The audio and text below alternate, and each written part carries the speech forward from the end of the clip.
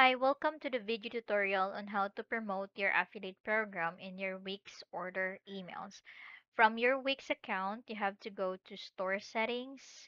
From here, you have to scroll down until you see order email notifications. Click edit and here you can add the link to your referral program.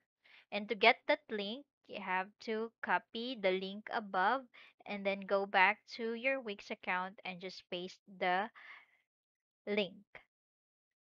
And then click save and preview. So once your customer receive the order confirmation page, they are also going to get the link attached to your referral program.